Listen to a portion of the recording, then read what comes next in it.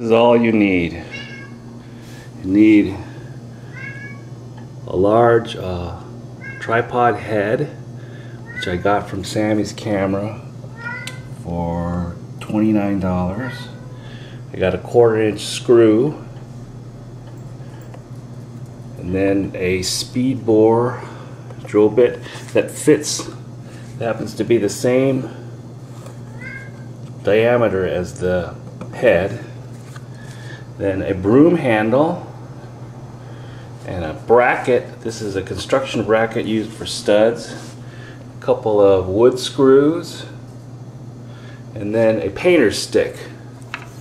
And the painter's stick will fit into this hole. Okay? That's all you need. Three inches and I'm going to cut this with a